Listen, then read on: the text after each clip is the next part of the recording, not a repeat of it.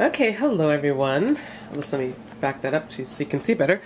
This is Earth's Own Almond Fresh Noel Nog. Noel Nog, I guess. And it's after Christmas, it's the new year, and this was on sale for 280 at my local grocery store, so I thought, hey, why not pick it up?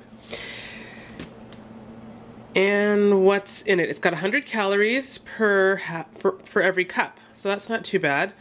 And it's made from an almond base, which is filtered water almonds, evaporated cane juice, tricalcium phosphate, canola oil, natural flavors, canola lecithin and or sunflower lecithin, lecithin, anyway, salt, gellan gum, carrageenan, natural nutmeg oil, vitamin A palmitate, zinc gluconate, riboflavin, vitamin D2, vitamin B12, and it says it may contain soy, I guess because uh, maybe it's packaged where they also make soy milk.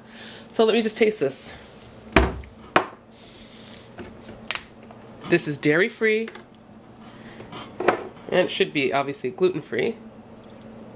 And let me just taste it. That's what it looks like.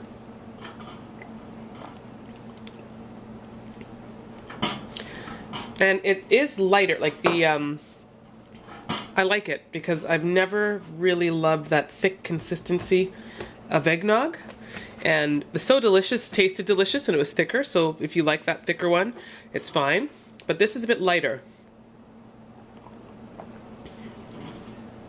And it tastes really good.